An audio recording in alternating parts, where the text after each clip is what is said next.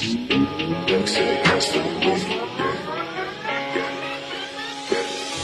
Yeah. On back for the next ain't song. Never tell her back.